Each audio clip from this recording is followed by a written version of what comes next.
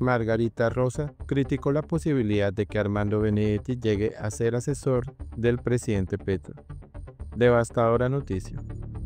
La actriz cercana al petrismo que ya antes había criticado a Armando Benedetti cuestionó que el embajador de Colombia en la FAO llegue como asesor del presidente Gustavo Petro Urrego. Armando Benedetti anunció que dejará su cargo en la embajada de Colombia ante la FAO en Roma para volver a la política y al parecer a la Casa de Nariño. Este movimiento confirmado el fin de semana continúa generando repercusiones en el círculo cercano al presidente Gustavo Petro. Según la W Radio, Armando Benedetti decidió renunciar a su puesto en la Embajada de Colombia ante la FAO en Roma para enfocarse en su recuperación de salud, luego de que le encontraran y estirparan un quiste de 8 centímetros en el colon. Este hecho ha generado todo tipo de reacciones en diferentes personalidades políticas y del país en general. Un ejemplo de estas reacciones fue el comentario que escribió la actriz Margarita Rosa de Francisco, defensora del presidente Gustavo Petro, que en esta ocasión vio con malos ojos que el ex senador regrese a trabajar para el gobierno nacional. Devastadora noticia, dijo. Adicionalmente, la actriz abrió el interrogante de si la información era cierta. Devastadora noticia, ¿es verdad? dijo provocando varios comentarios por parte de usuarios que la siguen en esta red social, pues en varias ocasiones ella ha discutido y defendido su voto por el actual presidente de Colombia, Gustavo Petro. Uno de los internautas que comentó la publicación fue Alejandro López, quien dijo lo siguiente.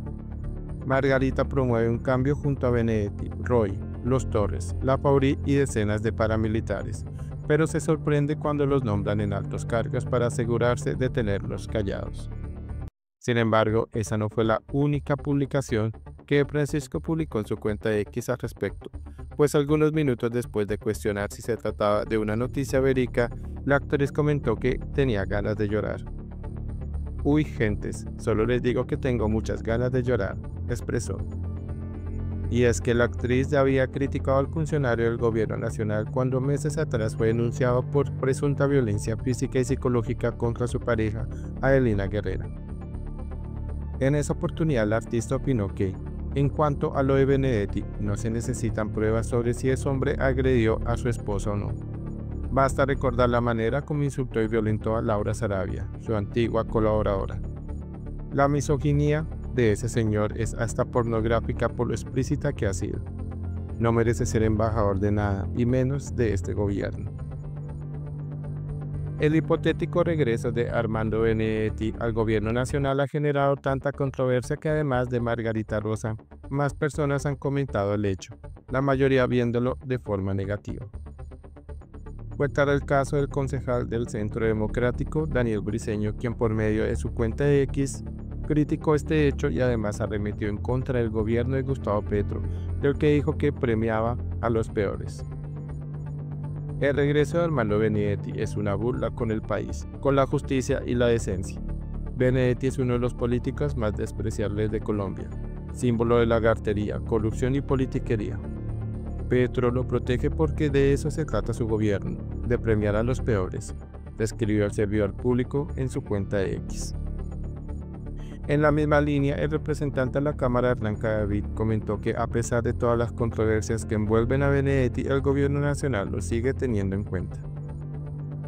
Otra nueva gracia del gobierno. No importan sus adicciones, no importan sus investigaciones, no importan las acusaciones de maltrato a la mujer, no importa su confesión de los 15 mil millones para la campaña. Llega Benedetti a asesorar a arroba Petro Gustavo escribió por medio de su cuenta X el legislador perteneciente a la Comisión Primera de la Cámara de Representantes.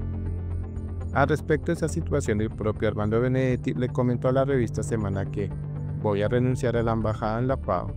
La tengo lista la carta de renuncia. La paso la próxima semana. Vendrá a ayudar al gobierno en temas nacionales a título de asesoría.